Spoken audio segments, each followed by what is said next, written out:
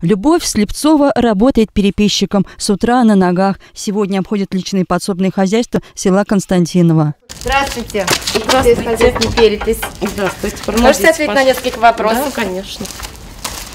Меня зовут Любовь. Угу. Вот мое удостоверение, вот мой паспорт. Пожалуйста.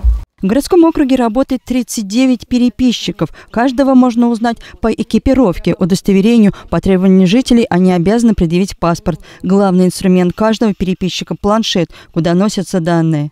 Укажите, пожалуйста, площадь земельного участка. 12 соток у нас. Работа сложная в том плане, что приходится очень много ходить. Протяженность деревень большая, в этом сложность. А в общении с людьми сложности нету. Люди в основном все доброжелательные, мало кто отказывается от переписи. Про перепись многие знают, потому что это не первая сельскохозяйственная перепись, а уже третья. Поэтому люди э, с пониманием относятся. Ответы на вопросы требуют всего 10-15 минут времени. В ходе микропереписи подсчитывают поголовье животных и птиц посевной площади под определенные культуры. Жительница Константинова Надежда Каныгина с легкостью ответила на вопросы. Это очень даже несложно. Очень даже приятно пообщались с переписчиком. Все замечательно, все хорошо. Уже э, переписано более 60% личных подсобных хозяйств. Это где-то около 10 тысяч. А Вот. э, Также опрос ведется и среди председателей садоводческих, огороднических и э, дачных некоммерческих товариществ.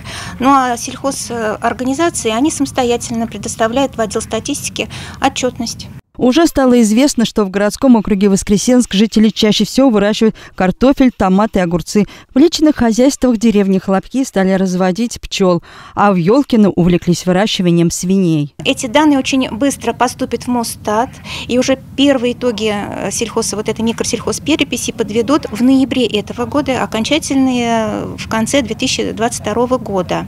Евгения Светлая, Евгений Страдубов. Новости из Крывект.